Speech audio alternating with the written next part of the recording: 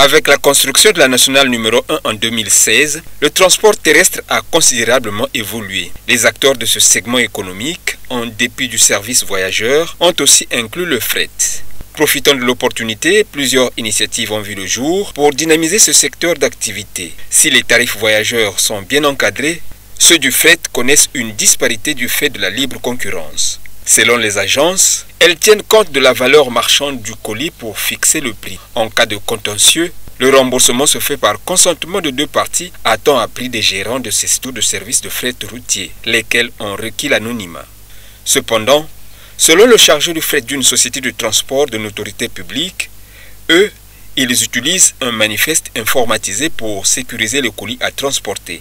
Les prix sont évalués selon les données recueillies après pesage de la marchandise et le contentieux est supporté à hauteur de 30% par le client lorsque la valeur du fret dépasse la somme de plus de 20 000 francs CFA. Mais cette pratique varie selon les sociétés, nous a-t-il confié, toujours en requérant l'anonymat.